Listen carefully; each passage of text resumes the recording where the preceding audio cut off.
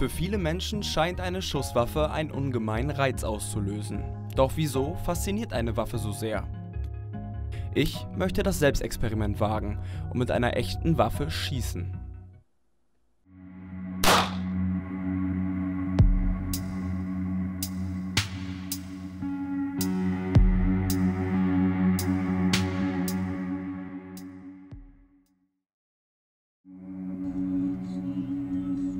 Dafür mache ich mich auf den Weg nach Wallenhorst. Hier haben Hans-Günther Winkler und seine Frau sich im Jahr 2015 mit einer Schießanlage selbstständig gemacht. Das Schießen mit echten Waffen ist hier auch für den Waffenlaien möglich. Hallo. Hallo, Herr Lexmann. Grüß Sie. Warum darf ich das einfach so als eine Person, die noch die mit einer Waffe geschossen hat und auch noch nie so Kontakt mit einer Waffe hatte? Okay, also wir sind hier eine kommerzielle Schießanlage, die hat die äh, waffenbehördliche Genehmigung, das zu tun. Wir haben also eine Betreibergenehmigung von Seiten der Waffenbehörde. War natürlich verbunden mit sehr vielen und sehr hohen Auflagen, haben wir umgesetzt, haben wir genehmigt bekommen und deswegen dürfen Sie bei uns unter Aufsicht schießen. Was passiert jetzt genau, wenn ich äh, mit einer Waffe schießen möchte? Was Sie haben genau noch gar keinen Umgang mit großkalibrigen Schusswaffen gehabt. Das heißt, dass wir gleich erstmal ähm, einen Erfassungsbogen ausfüllen. Das heißt, Sie können ihn auch alleine ausfüllen, ähm, wo äh, ein paar Daten von Ihnen eingelegt werden und wo auch die Schießstandordnung drin steht, die Sie dann äh, durchlesen und unterschreiben zur Kenntnis. Danach bekommen Sie eine fundierte Einführung, eine Unterweisung in die Waffen, die Sie aussuchen. Wenn das alles vernünftig vonstatten gegangen ist, gehen wir auf den Schießstand und schießen. So einfach ist das also. Erfassungsbogen ausfüllen, Schießordnung lesen, verstehen und unterschreiben. Ein Personalausweis muss nur vorgelegt werden, wenn eine Volljährigkeit nicht ersichtlich ist. Ich habe hier noch eine Frage zu, zu, einer Sache, die hier oben direkt steht. Ja. Ähm, und zwar steht, äh, der spielerische Umgang mit Schusswaffen ist in jedem Fall untersagt. Richtig. Was ist der spielerische Umgang mit Waffen? Wir wollen sicherstellen, dass wir keinen spielerischen Umgang mit der Waffe haben, also wie zum Beispiel der Cowboy zum Indianer einfach mit der auch leeren Waffe einmal Peng Peng sagt oder sowas. Ja, das ist also das ist sowas, ein spielerischer Umgang oder einfach mal so irgendwie. Es gibt das beim Cowboy dass man sie so dreht die Waffen oder so. Das, das sind alles so spielerische Sachen, äh, die wir auf gar keinen Fall hier wollen und die auch dann gefährlich sind natürlich. Da kommen wir in den Bereich Gefährlichkeit. Und war es denn schon mal so, dass Sie ähm jemand, der hier schießen wollte, das Schießen verwehrt haben? Also Tatsächlich ja, ja. Mhm. Zum Glück nur einmal, aber es war eine äh, jüngere Gruppe von Jungs, die nämlich genau das eben gemacht haben. Deswegen kam ich genau auch gerade, das war ein Beispiel davon. Die haben dann also diese erste Mal auch eine großkalibrige Waffe in der Hand gehabt und waren äh, eine ungeladene äh, während der Einweisung und haben einfach mal zu mir auch mal, boah, hier, das ist ja eine echte Pistole, peng, peng, nur gesagt. Das war genau der Moment, wo ich gesagt habe, pass auf, jetzt müssen wir hier mal abbrechen. Äh, vielleicht ähm, unterhalten wir uns gleich noch mal kurz und ihr kommt vielleicht irgendwann anders mal noch mal wieder. Hans-Günter Winkler erfreut sich mit seiner Schießanlage über hohe Resonanz. Aber wieso zahlen Menschen Geld dafür, um mit Waffen zu feuern? Ich fahre nach Hannover, um mir die Frage beantworten zu lassen. Dort treffe ich mich mit Professor Dr. Christian Pfeiffer, ehemaliger Direktor des Kriminologischen Instituts Niedersachsen und Fachmann auf diesem Themengebiet. Woher stammt die Faszination bzw. der Reiz für Waffen bei uns Menschen? Ich gehe auf meine eigene Biografie.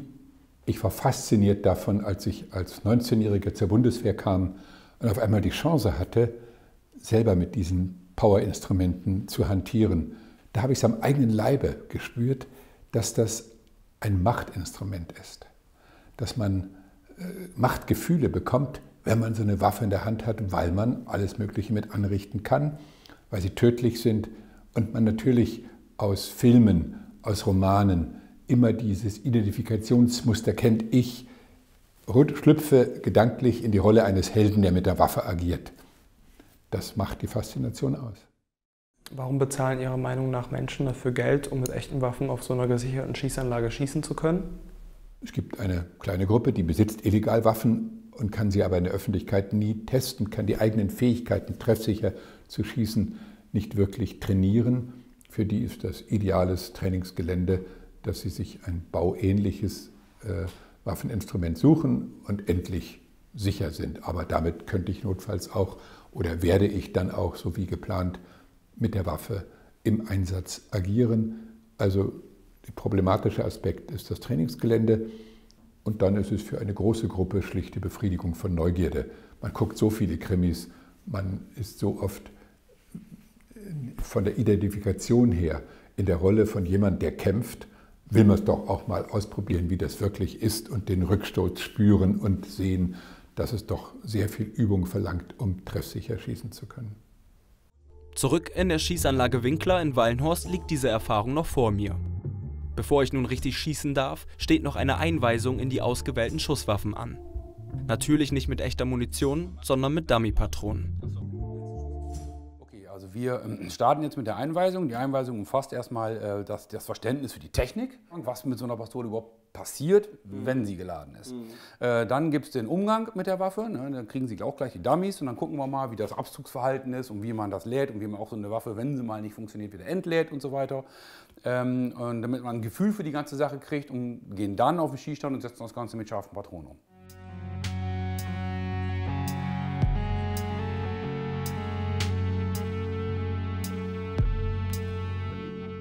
Das erste Mal eine Waffe, auch wenn nur unscharf, in der Hand zu halten, ist ein komisches Gefühl. Bei der Einweisung wird mir klar, wie filigran und auch wie einfach zu bedienen eine Schusswaffe ist. Normalerweise darf bei der Einweisung niemand im Lauf der Pistole stehen. Für die Dreharbeiten wurde uns eine extra Erlaubnis erteilt.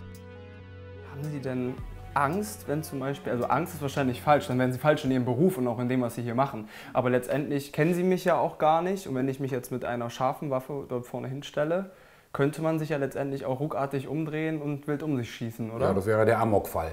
Genau. Mhm. Angst, wie Sie schon gesagt haben, Angst habe ich nicht davor, aber ich denke in der Tat täglich dran. Ähm, nicht zuletzt machen wir ja auch diese umfangreichen Einweisungen, um da auch schon im Gespräch so ein bisschen schon mal abzuklopfen, ähm, ob das, ich hatte es ja vorhin mal an der Theke mal erwähnt, ob es da vielleicht auch mal eine Situation gibt, wo wir sagen, pass auf, jetzt kriegst du mal keine Waffe von uns in die Hand. Ähm, damit ganz ausschließen kann man das natürlich nicht. Hier ist noch nie was passiert, zum Glück, äh, unter unserer Federführung hier und äh, ich hoffe, dass das so bleibt. Nachdem der Umgang mit den Schusswaffen mir vertraut ist, geht es weiter zum Schießstand. Geschossen wird auf projizierte Zielscheiben. Das Feuern auf menschliche Umrisse ist hier untersagt. So, alles klar. Das heißt, Alarm gehört Schutz auf, ja. Das heißt, wir werden jetzt ähm, äh, mit dem Rohrwurf genauso anfangen, wie wir das vorhin auch ähm, in der Einweisung gemacht haben. Bitte schön. Okay. Waffe aus in die rechte Hand nehmen, genau. Genau, die Patronen alle rein.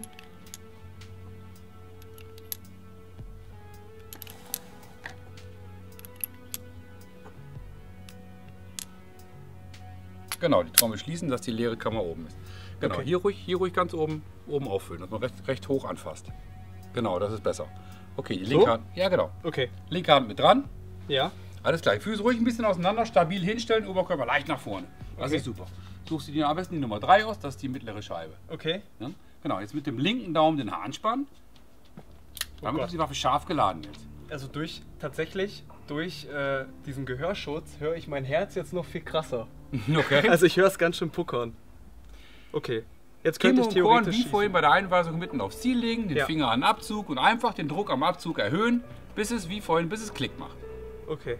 So? Genau, festhalten? alles gut. Ne, einfach ganz, ganz, ganz entspannt. Einfach ganz gerade halten. Okay. Gut.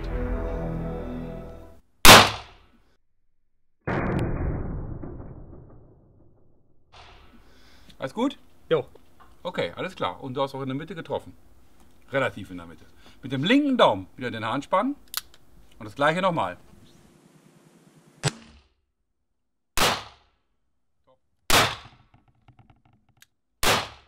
Alles gut. Okay. Okay, jetzt müssen wir noch die Hülsen rausnehmen. Ne? Gut. Mit dem rechten Daumen wieder ein bisschen nach vorne machen und mit den linken Fingern einfach ganz rausspinnen.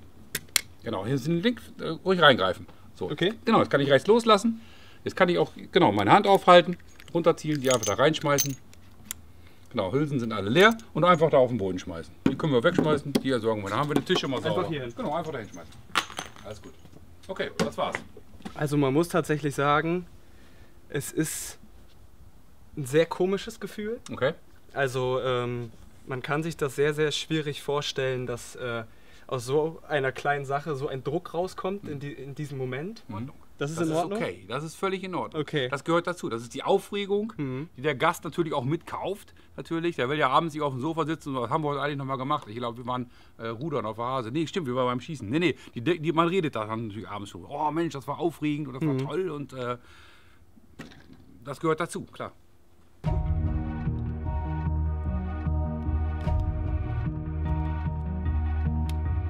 Nach ein paar weiteren Schüssen und das Wechseln der Waffen weicht die Aufregung der Routine. Besonders mächtig fühle ich mich jedoch nicht, eher konzentriert und angespannt. Rückblickend betrachtet kann ich den Reiz, den die Schusswaffe auslösen soll, in Teilen nachvollziehen. Aufregend ist es in jedem Fall. Der geschützte Raum und die professionelle Betreuung von Hans-Günter Winkeler haben dazu geführt, dass ich mich jederzeit sicher gefühlt habe. Meine Faszination für Waffen wurde durch dieses Experiment jedoch nicht geweckt. Vielmehr wurde die Gewissheit gestärkt, dass die Waffe für mich ein Verteidigungsinstrument bleibt, welches nicht zum Spaß, sondern zum Töten geschaffen wurde.